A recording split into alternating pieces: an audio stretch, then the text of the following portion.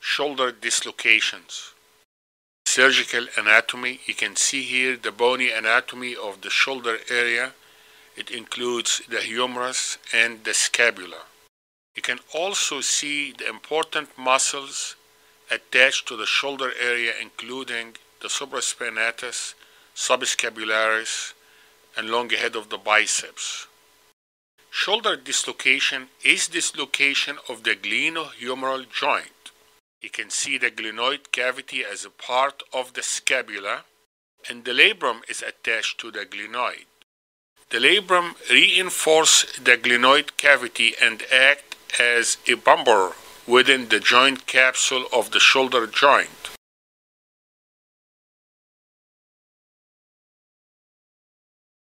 The axillary nerve is the nerve that's commonly injured in shoulder dislocations. It arises from the posterior cord and supplies the teres minor and deltoid muscle and the skin over the shoulder area.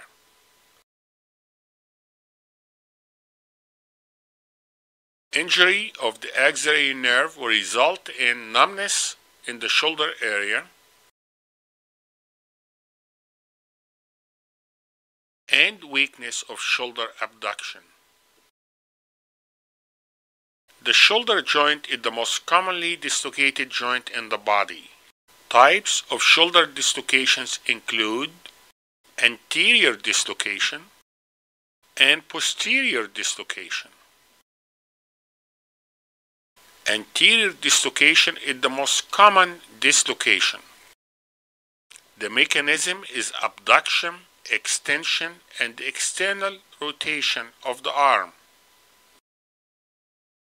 Here you can see the mechanism of abduction, extension, external rotation that leads to the dislocation. And the arm will be in a position away from the body, often overhead, with the arm rotated backwards. This is a normal shoulder joint without dislocation. You can see the biceps tendon anteriorly.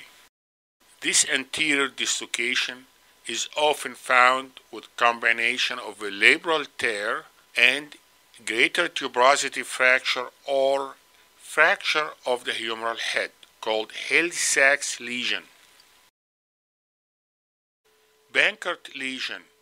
It is a tear of the anterior inferior labrum of the glenoid rim. Bankart lesion may be associated with a high recurrence rate of dislocation, especially in patients younger than 30 years of age. Bankart lesion can occur either as fibrous or bony. In the elderly patient, dislocation of the shoulder is often associated with a cuff tear. You can see here in the elderly patient how the cuff is torn. When the head of the humerus impacts against the anterior inferior edge of the glenoid, it causes flattening of the humeral head. We call it a Hill-Sachs lesion. Treatment of anterior shoulder dislocation. Immediate reduction. Dislocation is ruled out or reduced if the patient can touch the opposite shoulder. Immobilization of the shoulder remain controversial in duration and position of the immobilization. Patient will be unable to lift the arm. Surgery usually reserved for patient with recurrent instability Posterior dislocation of the shoulder, usually associated with seizures or electric shock, and is often missed on radiograph. About 50% of the cases are missed. With posterior dislocation of the shoulder, there is a lack of external rotation movement of the shoulder joint. Posterior dislocation will dislocate the humeral head posteriorly. Only 5% of shoulder dislocations are posterior. This is the normal external rotation of the shoulder without the presence of posterior dislocation. The most reliable sign of posterior dislocation of the shoulder is the presence of shoulder being locked in internal rotation. You can also see reverse Bankart lesion or reverse Hill-Sachs fracture or lesser tuberosity fracture with posterior dislocation of the shoulder. Axillary radiograph is the best to diagnose posterior shoulder dislocation. You can see two axillary views. On the left, a normal one without dislocation. On the right, it is a posterior dislocation of the shoulder. How do I know that?